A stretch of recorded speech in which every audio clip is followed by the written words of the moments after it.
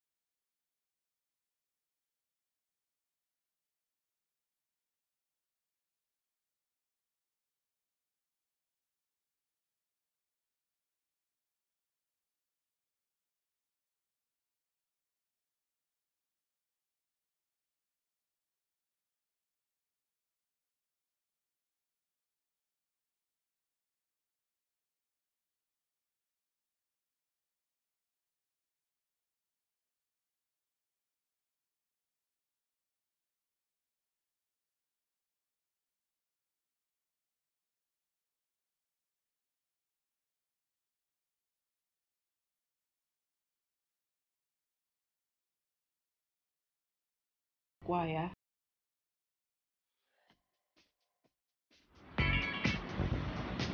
Satu, ya karena tempo hari ada temen aku yang salah mau berbuat mungkin ada kalian nanam talent semua urusan dengan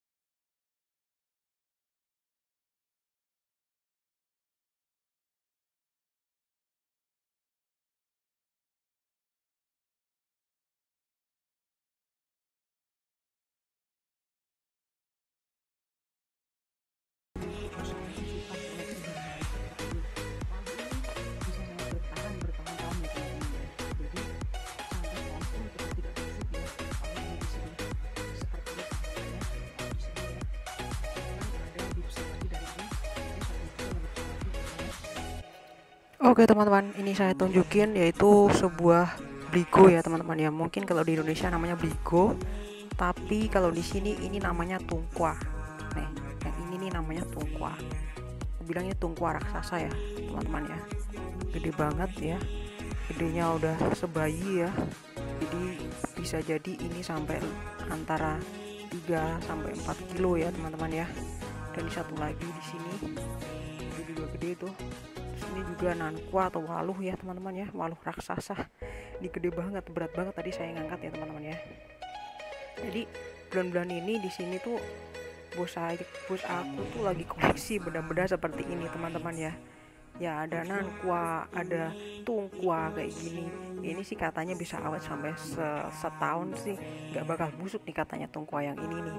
Nih kalau yang ini waluh ini kurang tahu ya teman-teman ya tapi di sini memang uh, mayoritas dia uh, orangnya suka makan waluh ya. Mungkin kalau di, Indonesia yang namanya waluh kayak gini mungkin udah agak sedikit punah ya.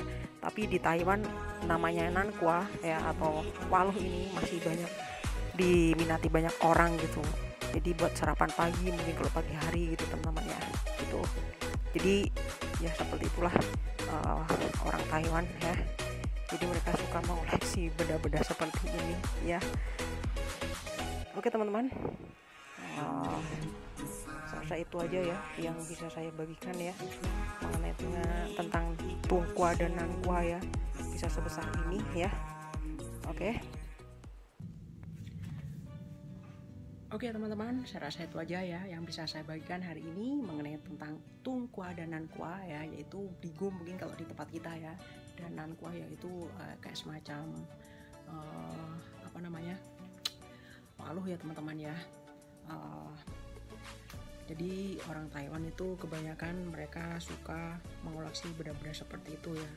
Nankwa biasanya mereka eh, pakai itu untuk setiap hari itu mereka pakai biasanya untuk apa eh, semacam sarapan pagi ya jadi di apa namanya dikukus gitu pagi hari jadi mereka pakai untuk sarapan pagi teman-teman ya uh, mungkin di tempat kalian juga ada masih ada uh, apa namanya kira-kira uh, makhluk sebesar ini teman-teman ya ataupun beligo sebesar ini mungkin tempat kalian masih ada beligo sebesar ini atau tungkua ya. Ya biasanya warga Taiwan itu uh, mengumpulkan kayak gini biasanya itu diasinkan ya teman-teman ya.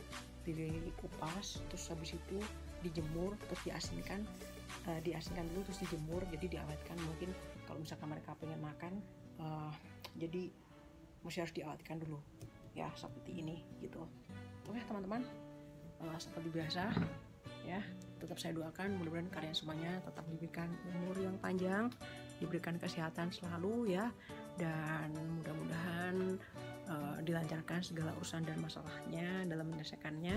Dan tentunya Tuhan tetap memberkati kalian semuanya dan jangan lupa bersyukur tetap selalu tersenyum smile dan jangan lupa bagikan cinta kasih kalian kepada semua orang dengan tulus dan ikhlas. Dan tentunya Tuhan tetap memberkati kalian semuanya ya. God bless you always. Sampai ketemu lagi dengan video-video very di lain kesempatan. See you again. Bye bye